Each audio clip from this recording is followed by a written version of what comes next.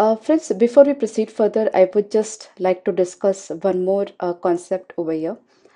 Uh, in this case, in how many ways can 7 plus signs and 5 minus signs be arranged in a row so that no two minus signs are together? Now friends, uh, before we do this question, I would just I'd like to ask a simple question.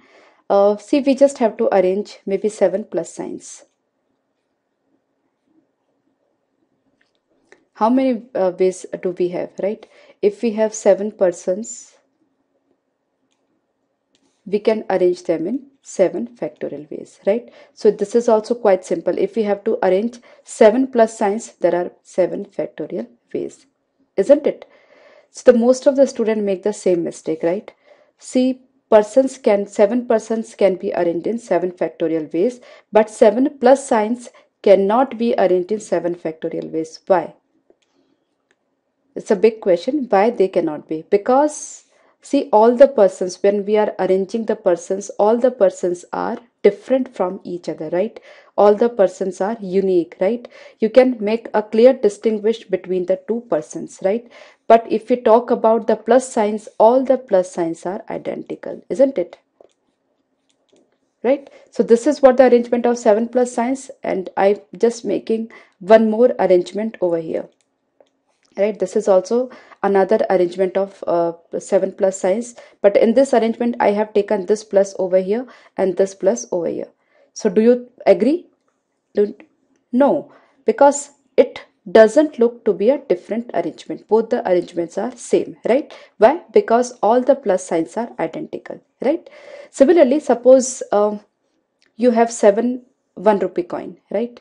Maybe five one rupee coin. One two three 4 5 right? Here i'm just trying to make you clear about identical and unidentical objects right?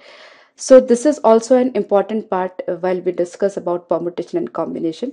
So uh, see these are five one rupee coin and uh, suppose you have to choose one one coin right? Now how many choices do you have right? You have to choose one coin. How many choices do you have? It's Simple once again, the five choices, but do you really think five choices are there? What is the difference between this coin and this coin? All the coins are same, right? So just have a single choice that just pick up any coin, right? Because all the coins are identical. But if we talk about person that means if you have to choose a person from these five persons so the, all the persons are different from each other. So it makes a difference which person you are choosing right? So if you have to choose the persons there will be five choices. But if you have to choose one coin from five identical coins then you just have one choice just choose anyone right? So be clear about identical and unidentical objects right? If all the objects are identical that means if n objects are identical then the arrangement will be just single. That is just one arrangement is possible right? Because you cannot make a clear distinction between the two arrangements of identical objects right? So i hope you are clear between the arrangement of identical and unidentical objects. So uh, based on that concept we just try to do this problem. Now let's try this problem.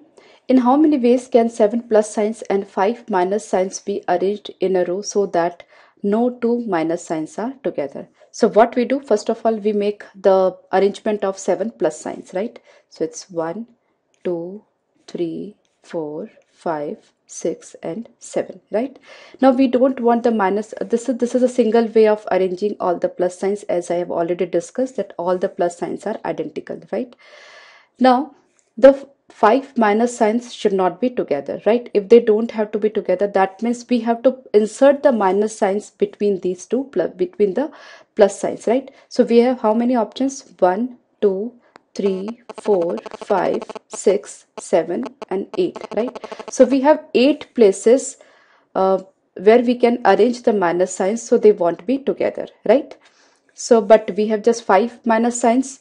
So from these eight places we have to select five places. Getting me? Any of the five places we have to select. So all the combinations of five places we are getting into 8c5 okay. So after selection of the five places we have to arrange. This is still here we just have done the selection right? After selecting five places we have to arrange the five minus signs on these five places. So further five factorial ways will be there? Yes? No. Because minus signs are also identical so there will not be any sort of other arrangement just one way of arranging. So why 8c5 8c5 uh, we are uh, doing because we are selecting 5 places out of 8 right? So that's why 8c5 we are taking. Now what 8c5 is? 8c5 is 8c3 now 8c3 is what? 8 into 7 into 6 by 3 factorial that is 6 so these are 56 ways right? A very small answer. So if you are going to uh, assume this plus signs to be unidentical your answer will be very big. And believe me if you are appearing for any competitive exam that particular answer will there be in the options right? And if you are not conceptually clear you'll end up marking wrong answer wrong option right? So this is uh, how we differentiate between an unidentical and identical objects right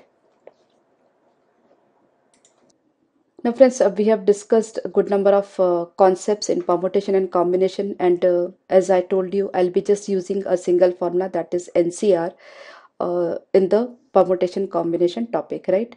Now I think we are ready to take more challenging questions, right? Because the concept will remain same. Now how to apply this concept is a main, uh, the, the task that we have to achieve, right? Because each and every question is quite different from the other, right? So that means you will be getting a series of unique questions right? But the basic concept of arrangement will remain same.